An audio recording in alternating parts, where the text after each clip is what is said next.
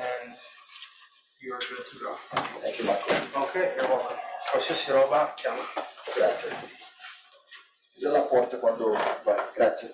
Eh, perfetto. Uh, hello, everybody. Welcome to this analysis seminar. It's a pleasure to have with us our associate, uh, Job Bonyo, who's coming here for his first associate visit from Kenya. Hope that there will be many more. John will talk to us today about the composition semi-group and some analytic spaces of the upper half plane. So, floor is yours. Welcome to ICTP. Thank you very much. Uh, Feel welcome.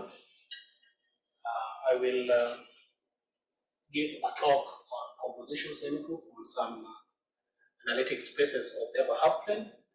Just as you have been told, I'm Job Bonyo uh, uh, from Kenya. My university is Multimedia University of Kenya in Nairobi, Department of Mathematics.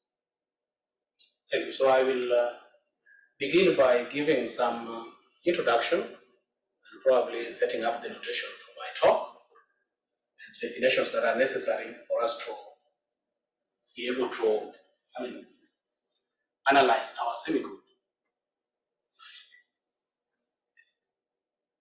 So first of all, we have the disk, that block D the unit disk so the unit is, is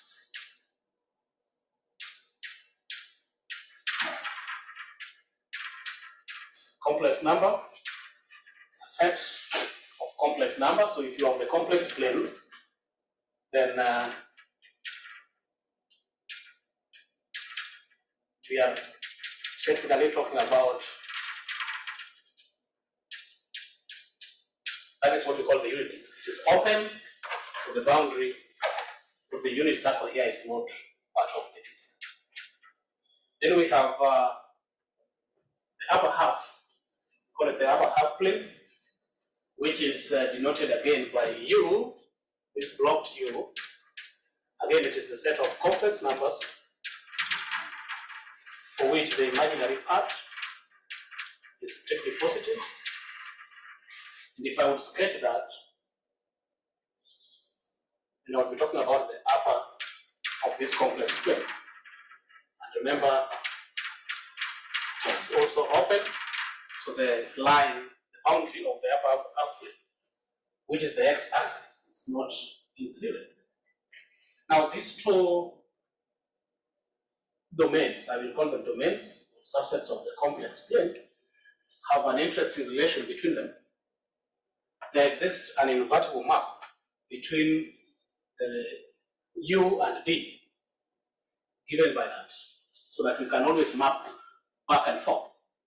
For instance, a point zero on the disk is mapped to the point I on the upper half plane.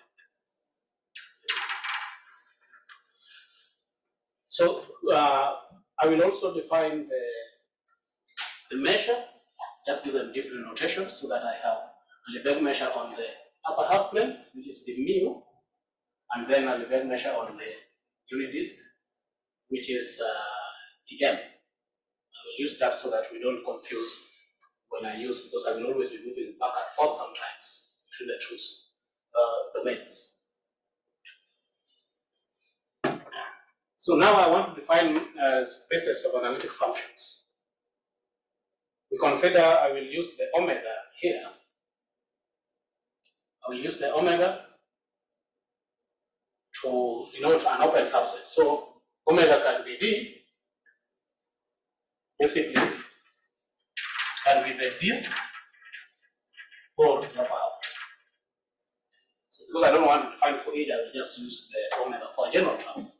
And then that h of omega will be denoting the space of analytic functions on omega. So those functions, actually we expect them to be mapping our open subset of C to C itself. Then we have Bergman spaces. Now these are uh, very famous uh, spaces of analytic functions. And Bergman space, interestingly, is just the usual LP space. But that that will consist only of analytic functions. So that's why we, we will define the Bergman space of the upper half plane is the LP space, the usual Lebesgue space.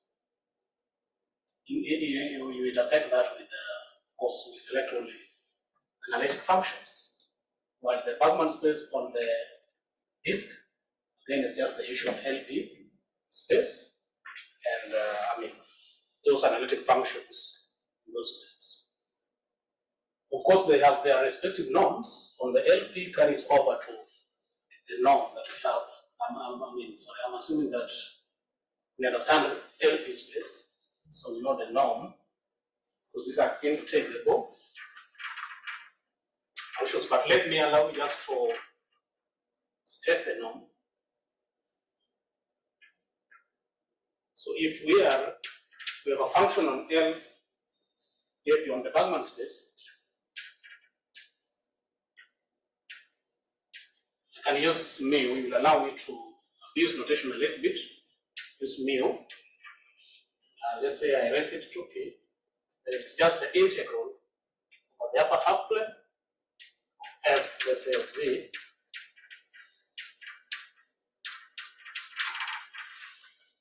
So that is the norm defined on the Lebesgue space, I mean the Bergman space of the upper half plane. And when I change it to D, I mean, it's the same, I mean, except now the domain changes. Then we have another space called the Hardy space. And remember, we are not dealing with uh, the infinity cases where we, are, we talk of the bounded analytic functions. We are basically considering between one and infinity, one inclusive. Now, Hardy spaces now will be defined by this norm. If you look at, uh, sorry, just go back. Now, if you look at the norm on the Hardy space of the upper half plane, it's given by that, while the norm on the Hardy space of the unit disk is given by that. All these analytic functions consist of uh, analytic functions. Uh, interestingly, uh, for Hardy space, we have a characterization on, on the norms of the Hardy space that we can actually identify the functions on the Hardy space by their boundary values so that we can redefine the norm. For the case of the upper half plane, we can just define it on the tree line, the x-axis. Yes, while for the unit disk, we can define it on the boundary of uh, the disk, I mean, which is just the unit circle, so it is between 0 and 2 pi. Then another analytic uh, space that we are going, I'm interested in is the Dirichlet space of the unit disk uh, and of the upper half plane, of course. Now, unit disk, I mean, for the Dirichlet space, it is only defined for the case p equals to 2. So we only talk about the Dirichlet space for the case of 2, so that you can see for the Dirichlet space of the disk, and this is the norm. I mean, we expect this quantity here to be finite, set of all those analytic functions for which this quantity is finite. Uh, the, the, what we are defining as uh, using uh, the norm on D, I mean, on D naught, is a semi-norm on the Dirichlet, I mean, Dirichlet space of the disk in this case, and we can make it a norm by adding this constant, so that this it becomes a norm. The norm on the Dirichlet space given by this. Similarly, for the Dirichlet space of the upper half plane, the same happens. Now we are adding f at i. Remember, 0 is mapped to i on the upper half plane. And then uh, we have this. You can see that there is a, a relation between the Dirichlet space and the Bergman space in the sense that here is the derivative, but on the other side we just talk of f. Now, so those are the three spaces that uh, are of interest uh, to us. There are many more analytic spaces, uh, which probably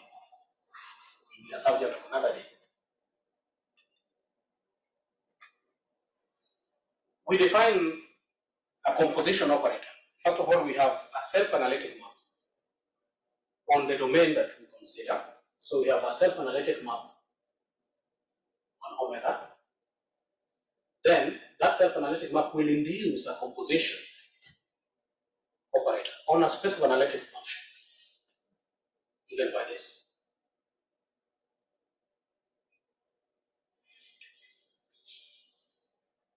Now, we can have a family of self-analytic maps that constitute a one parameter symmetry, where our parameter is t given here. So it, it will be, this family will be a semi-group if are analytic functions and then they satisfy these three properties. Now, the same way, a self-analytic map will induce a composition operator, the same way a semigroup of self-analytic maps will also induce a semigroup of composition operators. This is what is. The same definition. These are one parameter semigroups. Now, sometimes when we are dealing with the composition operators, we are probably interested in adding some kind of a weight so that we talk of probably weighted composition, groups of composition operators.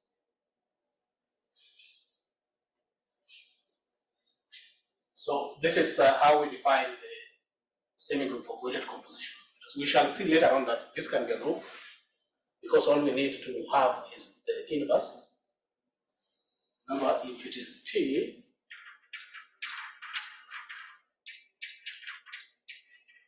it's a semi-group, then when we consider the negative part, then we talk of T in R, then we talk of uh, a group. So I will be using these terms groups and uh, semi-groups interchangeably. But what we know, that our semi-groups in this case are also groups. Now, in general, a semi-group of uh, bounded linear operators on a given Banach space. And remember here, all those our spaces are Banach spaces with respect to those ones. And in the cases when people's store are actually Hilbert spaces. I didn't make that.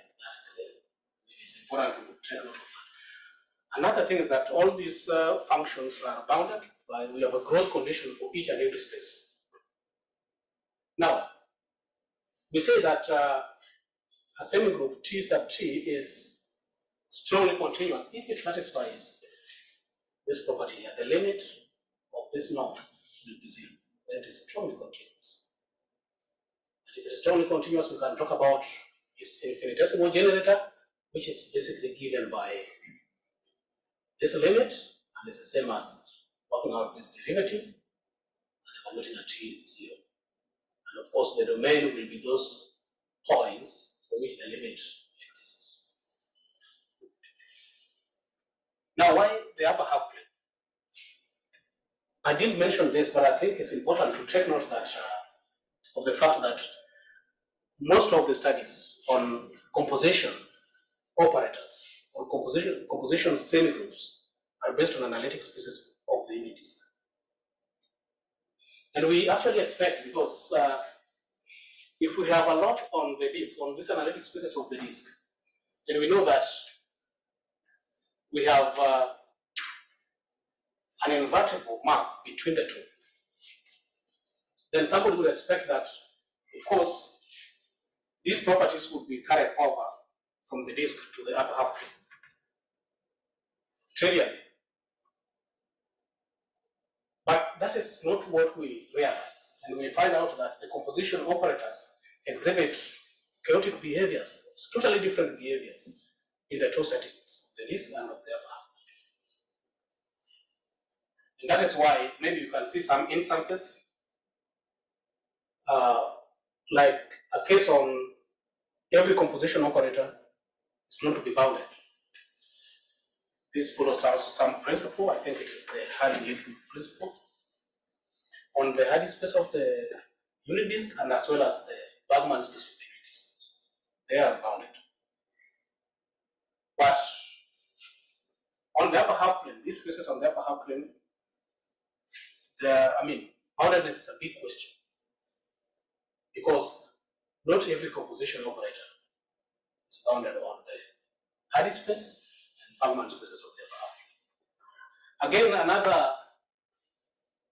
something again that is coming out, we know that every composition operator is compact on these two spaces of the unities. But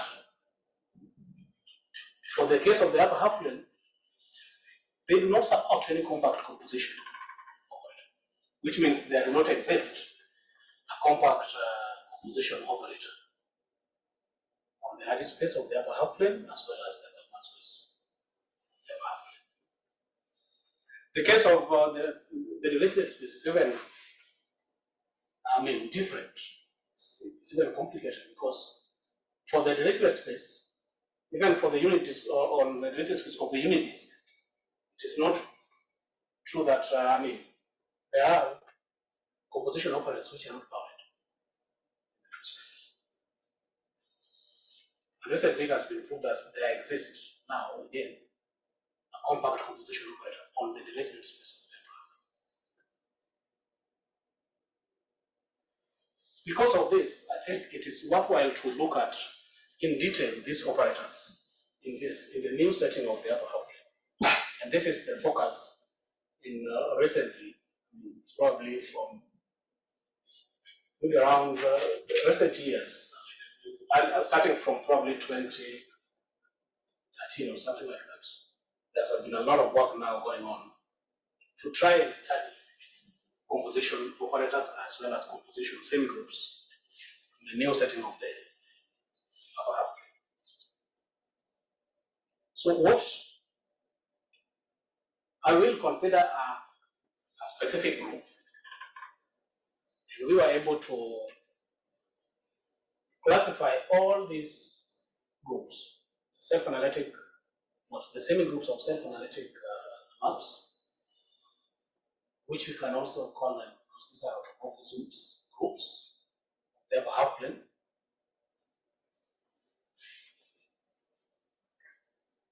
During my work in the in the PhD, I was able to characterize or to classify all those automorphisms, all those self-analytic maps, uh, those groups into three distinct groups. This is one of the groups. And uh, I don't want to go through all these groups, but I will just pick this simple case of uh,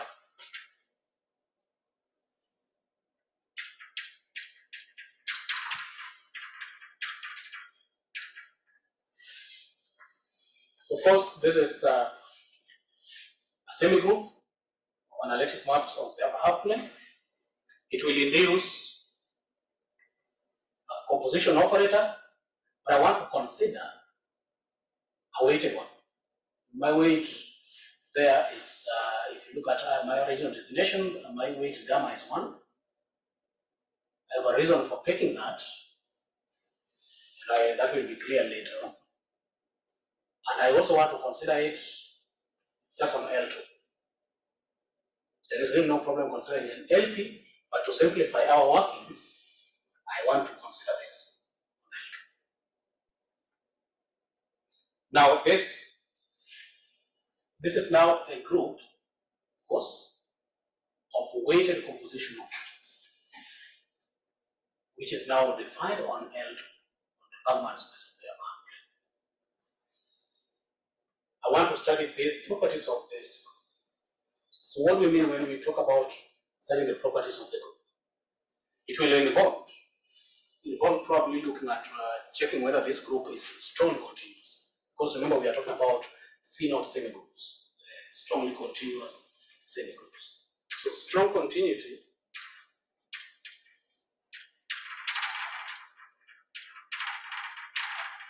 is, is a very important concept in, in semigroup theory of operators.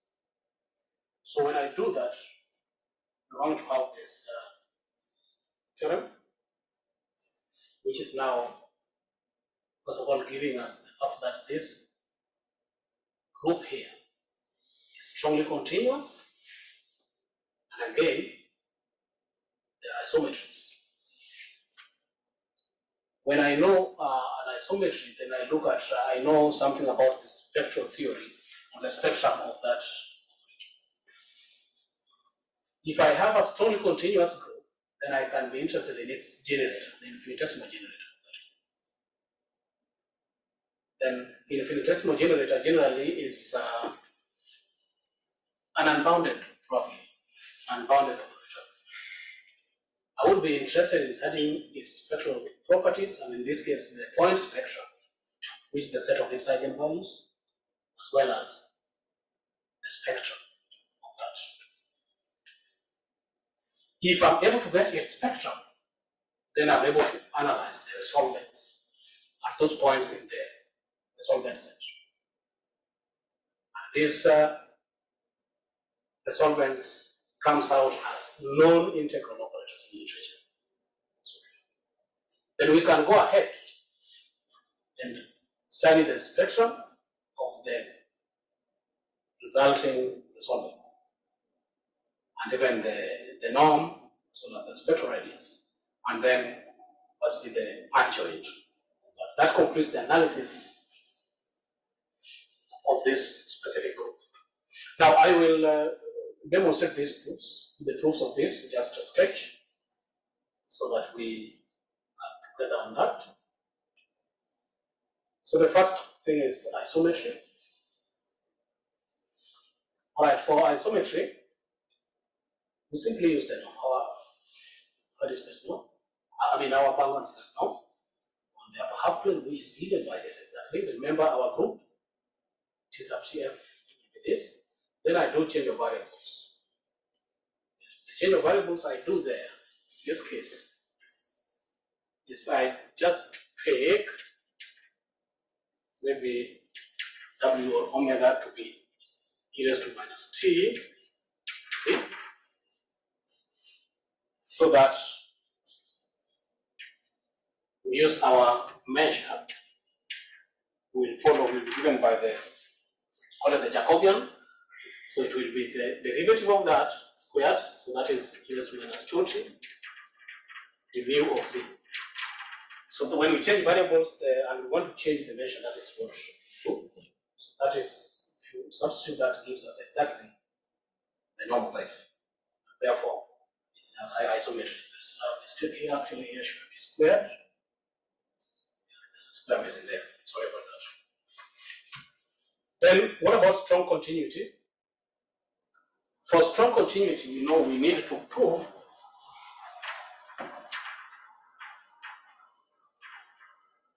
in the long run, we need to prove that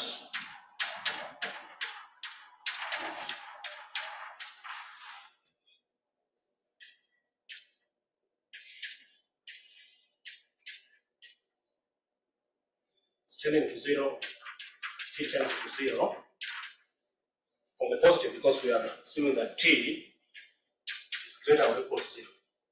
So it can only approach zero from that direction. So how do we do that?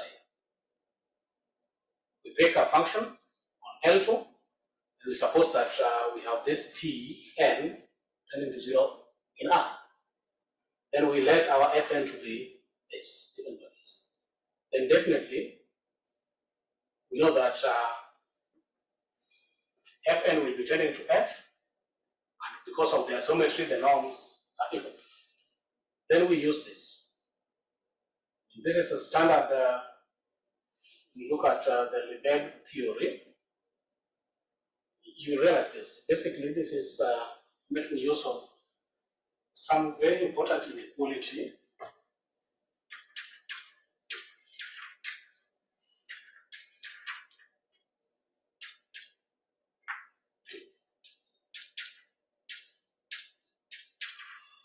Time you study complexity, then this, I mean, this inequality comes in. So that is what we use here. Plot our GN given in that form, where you can see what our A is and what our B is. So definitely this is what makes GN to be positive, to be greater or equal to zero, and negative. And then at the same time, this will tend because that will tend to that. Because if you are tending to, I mean, ascend goes to infinity, this goes to zero, and the other one goes to f, so we have that. So the remaining thing is just to be used the Fatou's lemma, will give us the fact that the lim sup is zero, and that would mean that the limit is basically zero. Uh, a lot of details left out there, but that is technically the proof of strong continuity is. Then we compute the infinitesimal generator. We just do the derivative, substitute at zero, gives us that. And that automatically tells us the domain is contained in that. Because the, the integral part or the vital part in the generator is that. Because f is already held. Now the reverse equal for the domain, also we apply fundamental theorem of calculus. And using the fact that uh, this thing will be strongly continuous, we are able to show the reverse inequality so that indeed the domain is equals to that set. Point spectrum, we just evaluate the eigenvalues. And there is the eigenvalue eigenvector equation. Gives us, leads us to this uh, differential equation here. And if you work it out, you get that. Now, it is known that this kind of, I mean, this kind of, uh, say polynomial does not belong to the Bubble space. This is known, there is something that is proved in literature that help us know that as long as you have just z raised to anything, that will not be a member of this. So with that, we end up with this function being not being there for n c not zero. Otherwise, if c is zero, then you have f equals to zero. That cannot be an eigenvector. That is why we conclude that indeed the eigenvector, there is the, this operator, the generator does not have an eigenvector. I mean, does not have an eigenvalue. What about the spectrum? Now the spectrum now is uh, we have proved that the spectrum, I mean the this our group is an isometry. So the fact that it's a group, it means it is also invertible, whereby the inverse of t sub t is just t minus t. That's why it is a group now. Now, since it is uh, an invertible isometry, then we know its spectrum. We know that the spectrum now is contained in the unit circle. It's a subset. It's, it's, it's, contained inside the unit circle. But we find that uh, the spectral mapping theorems, theorem for strongly continuous groups also tells us that e raised to e raised to t, the spectrum of the generator, is also a subset of the spectrum of the group. That is how that is statement comes from the spectral mapping theorem for strongly continuous groups. Of course, if that is the case, telling, telling us that this must be inside the, I mean, the unit circle, it means that if I pick any lambda arbitrarily in the spectrum, then E raised to T lambda must be equal to one. If I do that, then, uh, sorry. If I do that, then I find that that is only possible when the real part of lambda is zero.